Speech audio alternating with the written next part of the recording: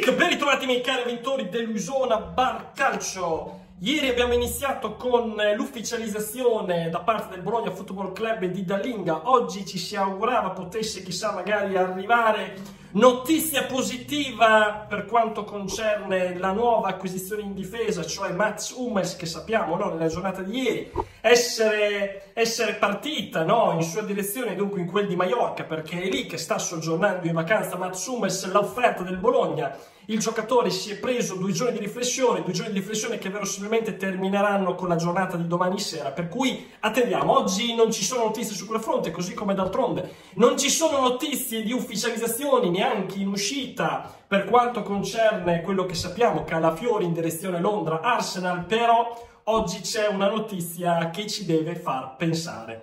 E adesso sviluppiamo su di questo il ragionamento. Di cosa stiamo parlando? Amy Holm, nostra nuova acquisizione no, sulla corsia laterale di difesa destra, purtroppo nella giornata di ieri ha rimediato una distorsione, ha rimediato una distorsione al ginocchio sinistro. Il che vuol dire, ancora non sono uscite le note ufficiali ovviamente, perché oggi è rientrato il giocatore a Bologna, dunque ha abbandonato Valles per rientrare qui a Bologna per sottoporsi agli esami del caso, per stabilire quindi l'entità eh, appunto la portata dell'infortunio. E ancora bene non si sa l'esito degli stessi, stiamo a vedere le notizie quando usciranno, ma laddove dovesse essere appunto confermata la distorsione al ginocchio sinistro, io dico meno di due settimane sicuramente non sono, il che vuol dire saltare completamente Valles. Eh, questa è una brutta notizia, questa è una brutta, veramente brutta notizia e mette in discussione anche eh, l'essere pronti per l'inizio del campionato, perché adesso vediamo di che entità possa essere, ma potrebbe anche stare fuori un mese, eh, ragazzi, adesso vediamo, non, non azzardiamo, sempre sperando che non vi sia qualcosa di più... Eh, di più severo, eh, ovviamente adesso non stiamo neanche a citarle, no? eventualmente che l'avete già capito, no? Però è una cosa che ci deve far riflettere, perché durante l'anno, attenzione, adesso è accaduto il 24 di luglio, 23-24 di luglio, tra virgolette, tutti i santi aiutano. Ma se queste cose qui poi accadono durante l'anno e non ci si è attrezzati a modino, sono cazzi. Quando io dicevo, ragazzi, attenzione a non considerare, che poi non è che non consideriamo, perché poi, come sempre siamo i primi a dire, parleremo poi a giochi fatti in maniera, in maniera appunto lapidaria a fine mercato. Adesso ovviamente parliamo con i se e con i ma. Ma se si dovesse appunto, se oggi fosse, che ne so, il primo di settembre, si fosse decisi di rimanere così come siamo sulle fasce, noi siamo, noi, io continuo a ripetere, siamo deficitari. Perché a destra, ad esempio, adesso con l'infortunio di Holm, rimaniamo con Porsche e con De Silvestri.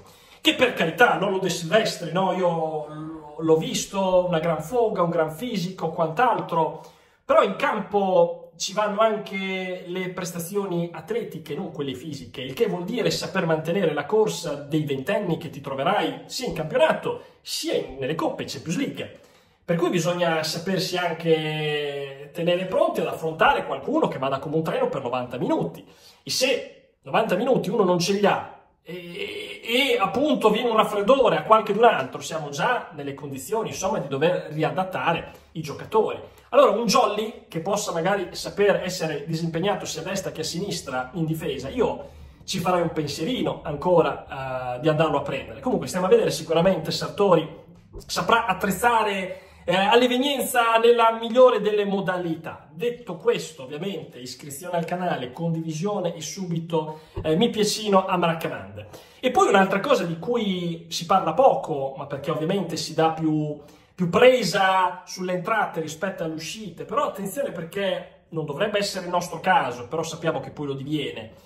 Eh, dobbiamo anche guardare alle uscite, nel senso, ad esempio, Kevin Bonifazzi con tutto il bene che io voglio al ragazzo perché lei è veramente un gran bravo ragazzo, ma davvero, lo dico seriamente. Però con tutto il bene che voglio a Kevin Bonifazzi, io sinceramente siamo al 24 di luglio, io oltre al 2 di agosto non lo vorrei più vedere in rosa, ho quasi temo paura di vedermelo rimanere in rosa per l'inizio del campionato, che poi non venga lo sghirbizzo ad italiano di metterlo anche in campo, eh, perché meglio fargli vedere le cassette di chi appunto sia Kevin Bonifazzi. Con tutto, con tutto il bene umano, eh? io parlo sempre solo dal lato calcistico. Allora, sapete, quando io dico questo lo dico anche perché se uno andasse a scaricare eh, il, ehm, la, la, gli stipendi del Bologna andrebbe a scoprire che Kevin Bonifazzi penso sia, se non il terzo, ora che abbiamo preso da Linghi, il quarto, il quinto, che guadagna di più al Bologna e questo sinceramente non è a me se concesso.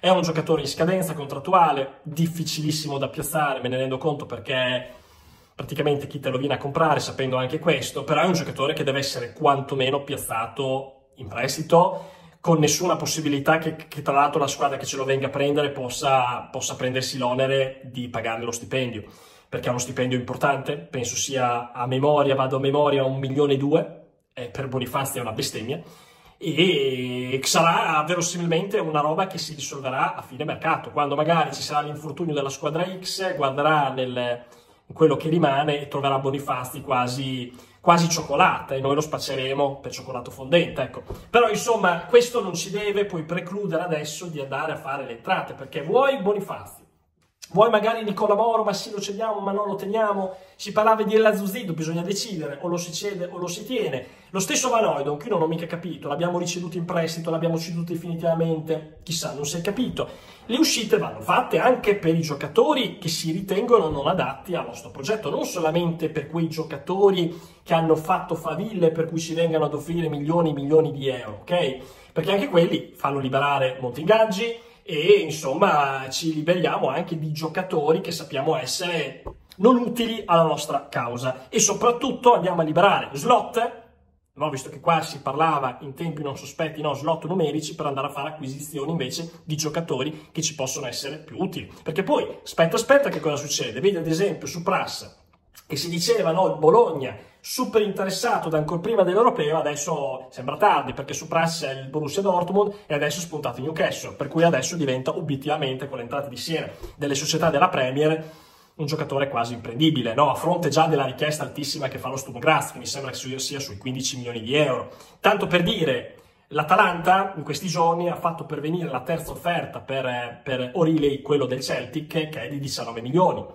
Quindi, voi capite. Quindi, insomma, a quel punto, tanto vale, eh, sembra quasi andare su altri profili, no? Eh, però, insomma, io mi rendo conto che Prass fosse sicuramente un profilo molto interessante, però che a sottolineare questo, che si aspetti, poi ce li fottono. Lo stesso Matt Hummels, Attenzione, adesso va bene, noi l'abbiamo fatta l'offerta, sper- sperando che sia così, perché poi la certezza al 100% io non ce l'ho sinceramente, ma mi auguro che sia veramente quello che è stato scritto.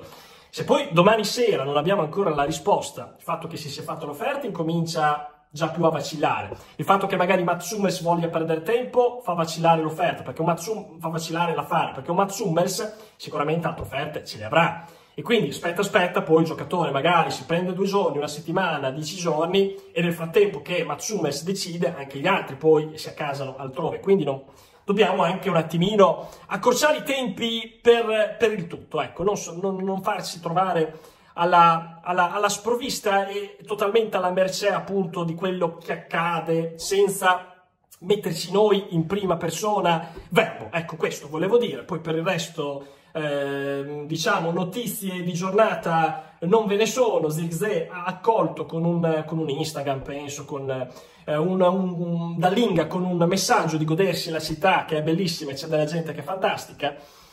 Si vede che, insomma, vabbè, è ok, grazie a Zirkzee, ci viene da dire. E, e, niente, per il resto, per il resto non, non, ci sono, non ci sono altre, altre dichiarazioni se non quelle di Italiano che là dal Valles dice che sarà un Bologna che farà possesso palla, ok? Speriamo anche che faccia gioco e bel gioco, non solamente possesso palla.